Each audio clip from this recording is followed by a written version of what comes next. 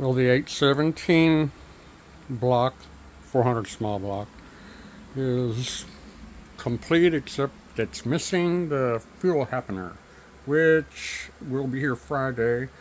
I ordered a Holley Super Sniper and uh, got an email from them yesterday, said it'll be here on Friday. So I thought I'd show off a little bit of it. We've done a lot of flow matching excuse me, port matching.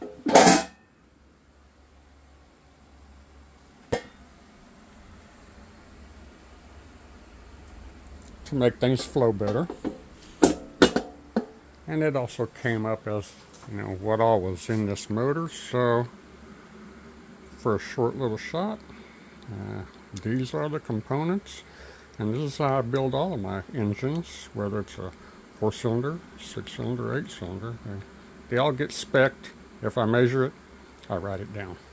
Uh, it's always worth it. Thanks for watching. Appreciate you.